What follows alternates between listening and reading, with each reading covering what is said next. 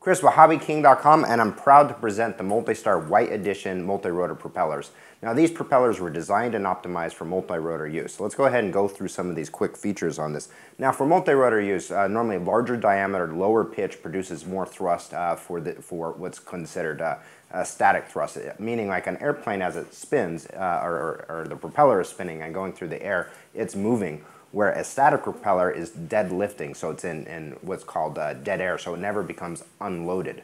Uh, because of that, the, the lower pitch and the larger diameters are more efficient.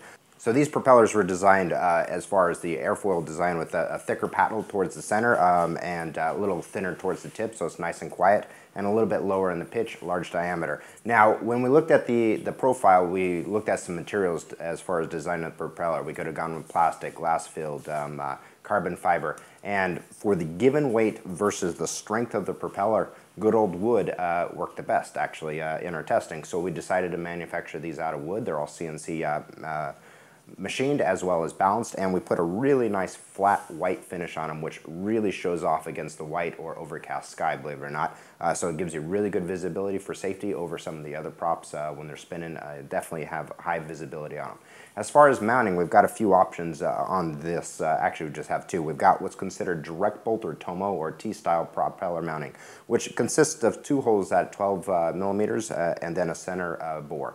Now these propellers because they are a little thicker than your standard T-Motor style like carbon fiber props do include, all of them include a mounting washer as well as the longer screws so it'll bolt right into your, uh, your given motor for the given size. Now there is one variant to this group and we have these uh, all the way from 18 inches all the way down to 9 inches and that's this one right here. These ones were designed for the smaller uh, uh, 2212 class motors, uh, DJI Phantoms, Quanum Novas style of uh, propeller, and it does include a clockwise counterclockwise nut set that corresponds with these propellers. Now wood uh, has some really nice uh, properties, like I was saying, it has, they're, they're lighter for their given weight, um, they're stiffer, uh, and they also have some uh, great uh, vibration absorption properties as well as when they get damaged and nick, you can actually repair these propellers uh, with a little epoxy resin sanding and balancing uh, versus plastic just of course break shatters and, and they're done. Definitely, if you got a larger multi-rotor all the way down to the small ones, I would give these a try. Uh, you might be surprised, they're extremely quiet, they're very efficient, uh, and they're purpose-built for that application. As always, subscribe to our YouTube channel. We will see you next time.